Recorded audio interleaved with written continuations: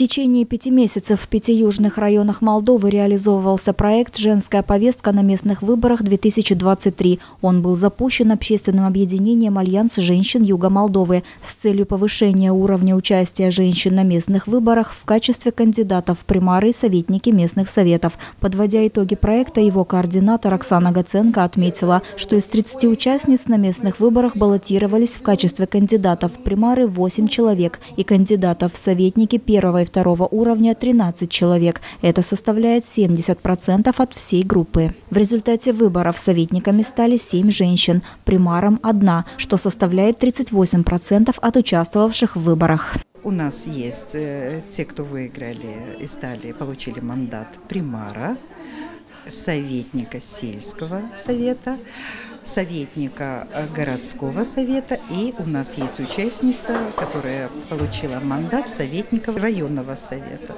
К сожалению, есть у нас э, те участницы, которые были сняты с гонки в связи с их партийной принадлежностью.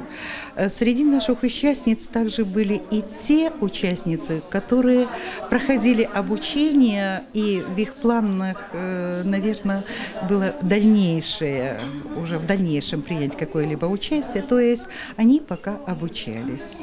Светлана Регуш баллотировалась в местный совет села Котовское как независимый кандидат и оказалась в избирательном списке единственной после снятия с предвыборной гонки партии «Шанс». Поэтому выборы в данном населенном пункте были признаны недействительными. Следующую попытку войти в орган местной власти Светлана предпримет 19 мая 2024 года. По словам женщины, участие в проекте стало для нее хорошей возможностью проявить себя и научиться чему-то новому. Лично для меня э, очень важную роль сыграла, так как я была ранее 8 лет советником.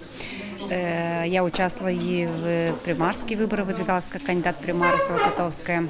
Но вот в определенное время я как-то разочаровалась и посчитала, что я не должна уже пойти в политику. Но э, меня пригласили в данном проекте. Несмотря на то, что я уже участвовала в политике, но это новое, что-то новое, я обучалась чему-то. И это мотивировало меня все-таки, чтобы я баллотировалась э, как советник села Котовская. В ходе заключительного мероприятия участницы проекта делились своим опытом, полученным в ходе предвыборной кампании. Нужно, чтобы свои мысли донести до людей, э, чтобы больше женщин пошли на выборы, и чтобы они не боялись свое мнение высказать людям. Женщины должны участвовать в политике, но женщины должны обучаться политике, женщины должны понимать, куда они идут, да, и должны расти как, э, как политик, да, и эти, эти тренинги очень важны, потому что нигде этому не научишься, и никто это тебя не научит, и нигде э, бесплатно не будут проводить тебе курсы, будут тренера э, обучать тебя. Это очень огромная возможность для наших женщин, да, сельских женщин, саморазвиваться и научиться чему-то, и научиться стать лидером. Каждой участнице проекта был вручен сертификат о прохождении обучающего курса по передовым избирательным технологиям.